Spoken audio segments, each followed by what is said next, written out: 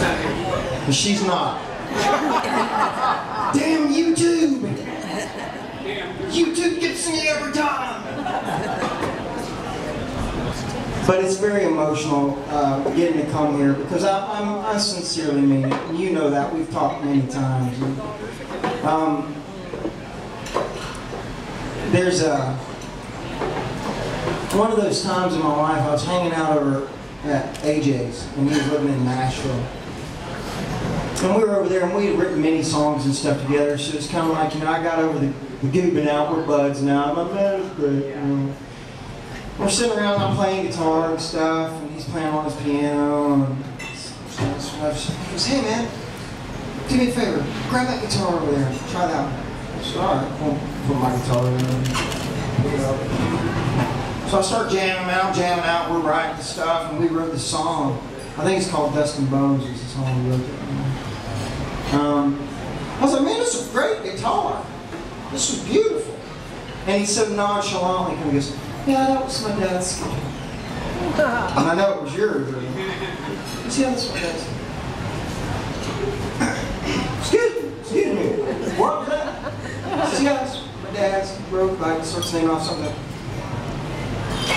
I, you might not want to be letting me hold this. This, this is kind of sentimental stuff. And I remember I was so goofed out, I was like so touched, you know, I, was, I really honestly was. I was. And I got home and I was, my friend D. Scott, we all met, who's playing with Skylar, been one of my close friends, he also works with me at my record label. Actually, he does all the hard work and I get to say I own the record label and he runs it.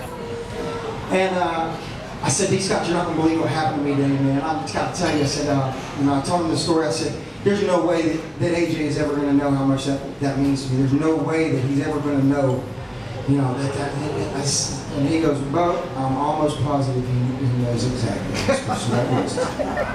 And I said, man, this is just like the coolest freaking moment in life.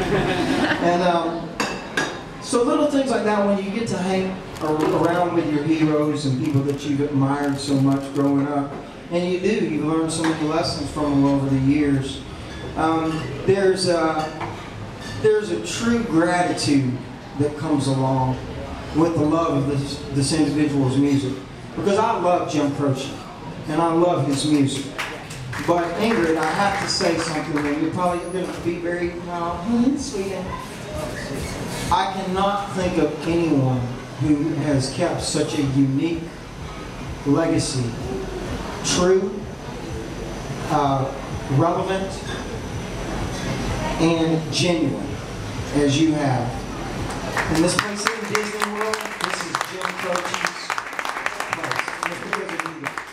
Thank you for, a fan. Thank you. Thank you. Now this cat, I knew him growing up. I didn't, but my granddaddy used to buy moonshine from him. yeah! Much to believe. Oh, yeah, I got an extra pack of cigarettes, rolled up in his t-shirts, and he got a tattoo on his arm, say, baby, he got another one to just say, hey. In a sunny afternoon, he is a dirt track demon in a 57 Chevrolet.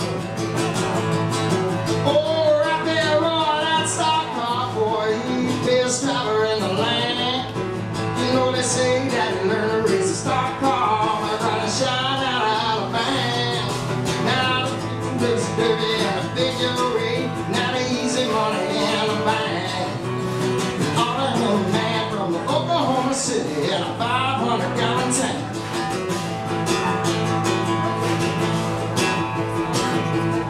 Oh, up there on that stock car, boy, he too much to believe. You know he already got an extra pack of cigarettes, too. He got a tattoo on his arm, so baby, he got another one to say, hey. Sunday afternoon, is a dirt track demon in a 57 Chevrolet. Oh, Russell, cool that racing fool, he don't know what feels about. He do 130 mile an hour, smiling at the camera with a toothpick in his mouth. He got a girl back home, is Dixie Dawn, but he got lovers on a long way. men screaming for the dirt track demon in a 57 Chevrolet. All you ought to hear is screaming for the dirt track demon in a 57 Chevrolet.